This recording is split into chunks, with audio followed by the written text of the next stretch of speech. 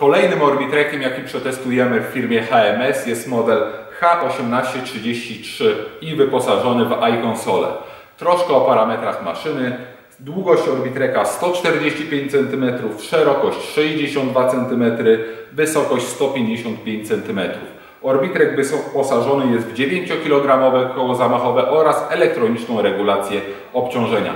Rozstaw między stopami wynosi 19,5 cm, długość kroku 43 cm. Sprawdźmy jak maszyna zachowa się podczas treningów cardio i interwałów.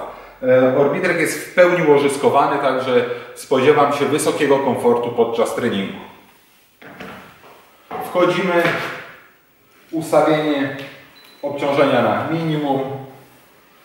Tak jak myślałem, Orbitrek pracuje bardzo płynnie i cichutko. Krok jest wysoki. Ustawmy teraz obciążenie na maksimum. Obciążenia możemy dodać sobie dość sporo, także na pewno je odczujemy podczas treningu. Ustawmy na minimum. Sprawdźmy jak maszyna zachowa się podczas interwału. Mój wzrost to 187 cm, waga 98 kg. Zwróćcie uwagę, że maszyna stoi na matach, także delikatnie na pewno będzie nam się bujała na boki.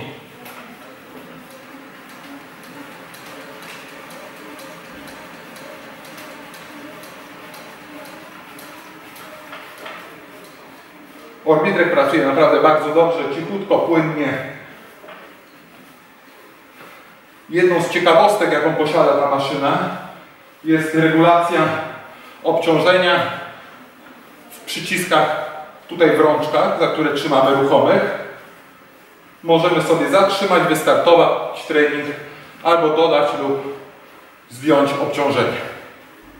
Jeśli chodzi o jakość wykonania Orbitreka, o regulacji obciążenia i modyfikacji w rączkach już wspominałem. Świetne rozwiązanie. Tutaj mamy wszystkie łączenia ruchome na łożyskach. Tutaj jest wspomniana regulacja wysokości kroku. Sam orbitrek wykonany jest naprawdę bardzo przyzwoicie.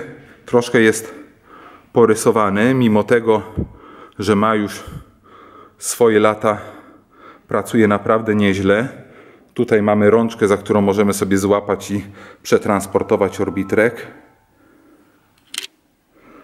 Maszyna posiada też regulację, jak już wspominałem, długości kroku.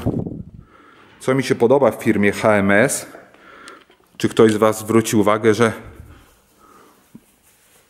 tylne stabilizatory praktycznie w większości maszyn są bardzo szerokie, dzięki czemu na Orbitreku czujemy się bardzo pewnie i maszyna jest stabilna podczas treningu.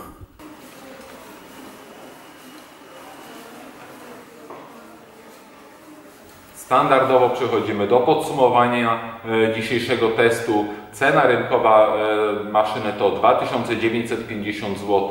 E, do czego mógłbym porównać dzisiejszy Orbitrek, testowany Orbitrek? Myślę, że do Insportline'a ET500i, który ma tą samą ładowność, ma również regulację długości, wysokości kroku. Testowany model HMS-a jest osobiście uważam dużo ładniejszy niż Insportline'a, no i ma regulację obciążenia w rączkach, co dla mnie osobiście jest naprawdę bardzo, bardzo wygodne. Dziękuję bardzo.